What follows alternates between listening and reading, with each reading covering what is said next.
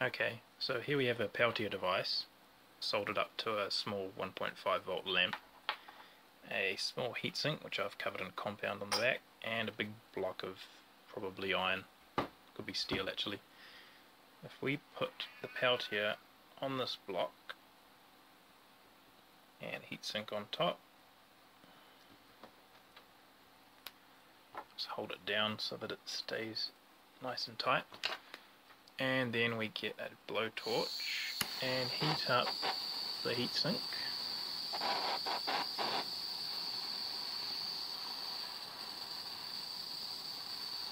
we eventually will start to see the lamp.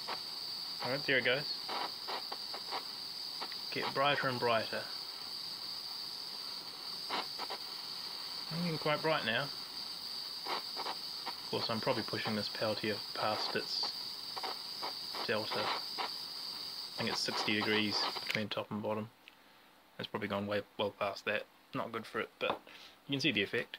You get quite a bit of energy out with a cold block on the bottom and a nice hot heatsink on top. And as you take the heat away, it slowly goes out.